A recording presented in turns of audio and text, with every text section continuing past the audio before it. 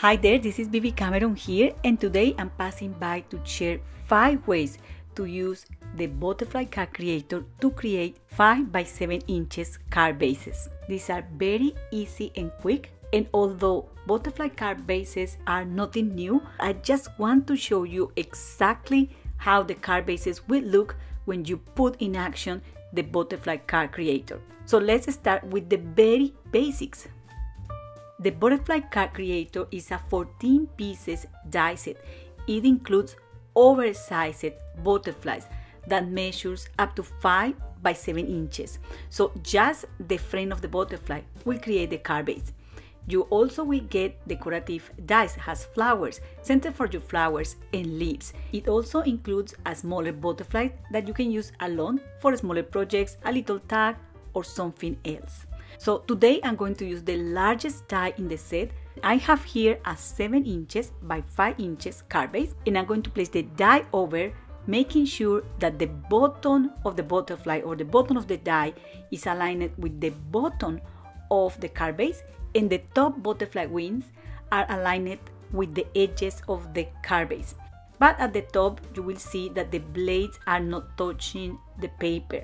So we are going to do a partial die cutting that is very very simple and we are going to run this card base folded with the die over through the die cutting machine. Something I love about the Spellbinders Platinum 6 is that even though my plates are very worn, I don't get those marks in the plates embossed in the paper when I'm doing this because it happens with other die cutting machines that they are very very strong and they squeeze the paper and emboss those marks in the plates on the paper and that, that's not nice. So anyways, that's how easy you can create a top folding 5 by 7 inches card base. All you have to do here is to decorate with other dies in the set and you will be done in time record. Okay, the next idea, if you don't want to do any partial die cutting, is to die cut two of those 5 by 7 inches butterflies. And you need to score a line at 3 quarters of an inch, just like that. Then you need to fold towards the back of the die cut piece, those little flaps at the top of the butterfly. Then you need to add liquid glue over those flaps. Allow that to dry a little bit and place the other butterfly over, properly align it. And that's how you can make in less than one minute a 5 by 7 inches top folding butterfly shaped card. So both of the butterflies I just showed you looks very neat and you can make any of these using a standard 6 inches die cutting machine. You don't need a large format die cutting machine to create these card bases. And don't worry, I'm going to give you some ideas on how to decorate these, but the sky's the limit. So the third sample I want to share with you is to create a top folding card base, but this time I want a rectangular background. So what I'm going to do is place the die again in the same way I did for the previous samples, and the top blades of the die are not on the paper. Then I'm going to use my large format die cutting machine here and I'm going to align the top cutting plate with the scoring line on the card base. And because the cutting blades are off the scoring line on the card base and the cutting plate is not making any pressure on those blades, we are going to make a partial die cutting on the top area of that butterfly there. So we are going to place the bottom of the butterfly facing the die cutting machine and we are going to run this through the die cutting machine like so. Once we have this done, we can remove the die and we need to trim any excess of paper. And after using scissors, I might need to use a craft knife to give a better finish and look and feel to the general card base. So that's it. I also use a corner punch to round the corners of the card base and that's also another top folding card base option. Okay, now let me show you a side folding option. We need two 5 by 7 inches butterflies and we are going to place one of them on the scoring board like so. So the wings need to be aligned with the edge of the scoring board and we are going to score at one quarter of an inch. Then we are going to fold those little flaps towards the back of the butterfly like so.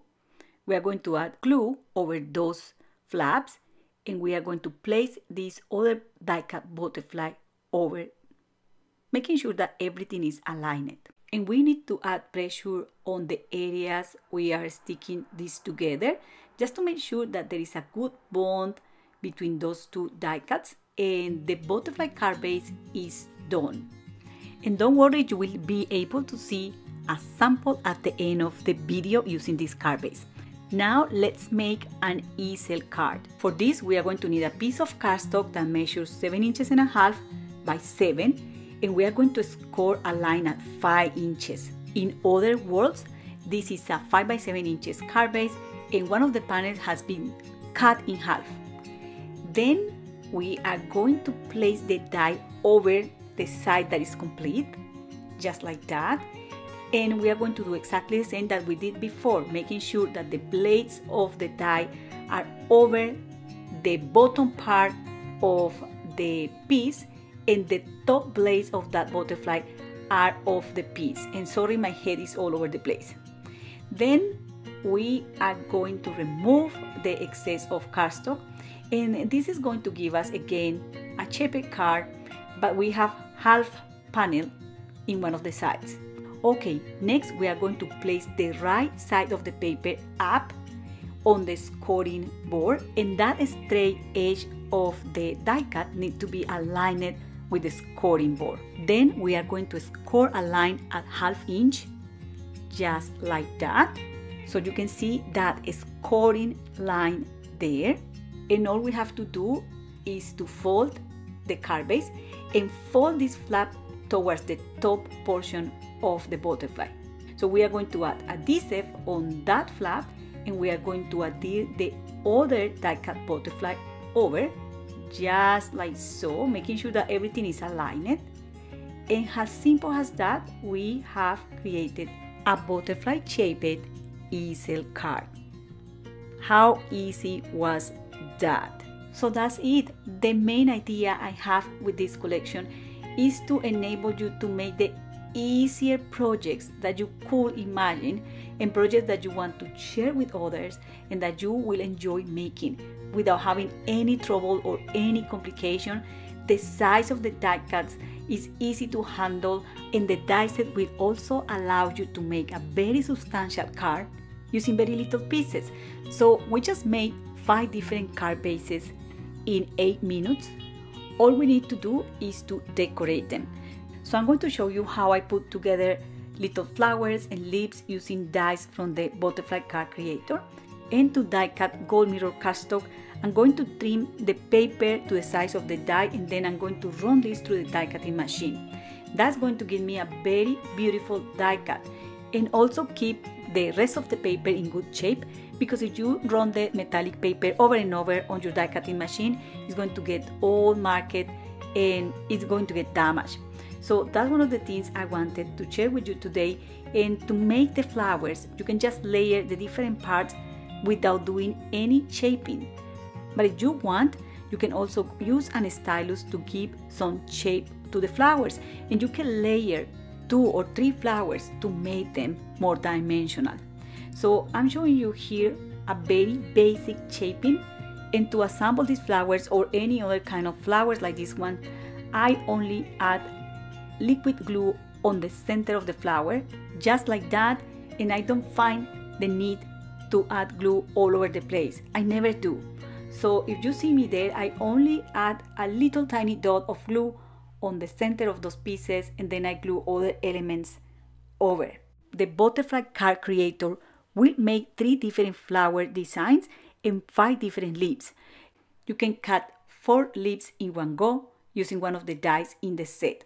And once I have decorative elements for my card, I then die cut another butterfly that will layer perfectly on any of the card bases I made today. And to give you extra ideas, I'm also going to be using a little bird die cut that I made using Simon Says stamp dies listed in the video description.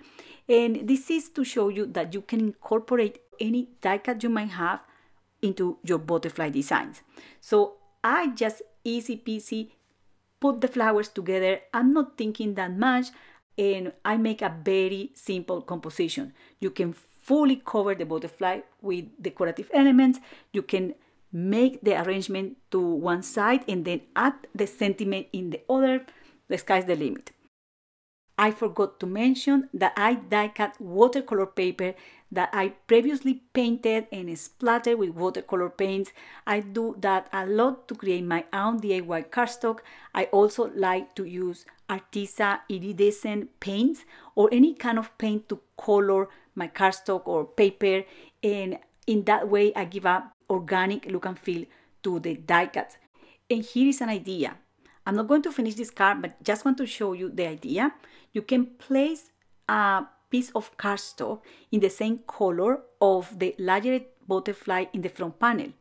In this case, is Glacier Color by Spellbinders. This is a gorgeous cardstock color and you can just add your topper like so, add a sentiment and you will be done. If you don't like the raw edges at the top, you can also add a white butterfly die cut to cover that up to have a nicer finish. I love this card design with the rectangular background, but as I have other samples that I'm going to be sharing in my blog like that, for the card here, I'm going to use the easel card base. So what I'm going to do is to adhere this onto that backing piece first. I'm going to add a nuvo drop to the eye of this little bird here just to finish it up. I'm going to place this to a side and I'm going to stamp a sentiment using butterfly sentiments stamp set. This is a scrap piece of paper that looks pretty much has a stencil and yet you can use it as a stencil as well. But I'm going to use just this cardstock here to stamp a sentiment for my card.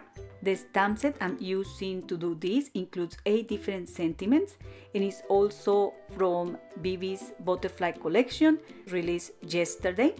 And I'm just going to cut a little banner to complete this card front. Okay, all we have to do is to adhere this to the easel card base, just like that. And this is pretty much all we need to do. However, if we want to add some kind of mechanism that stop this from moving when it's in display, we can add a little butterfly there and this card will be done. I think this card is super, super cute. And of course, you can make smaller easel cards using dies from so many butterflies die set. That is this one here, and here is a sample for you. Now I'm going to use this side folding card base to put together a card that I'm planning to send to Julie Hassel. She suffered from a condition called fibromyalgia and she posted on Facebook that she would like to receive more birthday cards for her birthday. But I'm planning to do something else. I'm planning to send her an encouragement card. Although I might change my mind and I will send her a birthday card. so this is for Julie. I hope she feels better today and I hope that any of these cards can make her smile.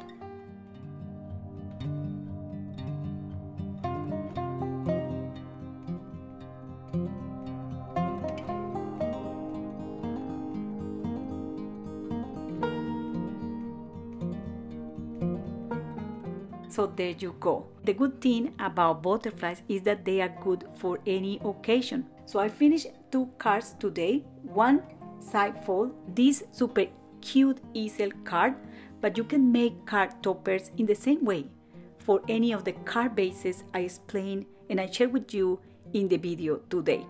So here are some samples and that's all for today.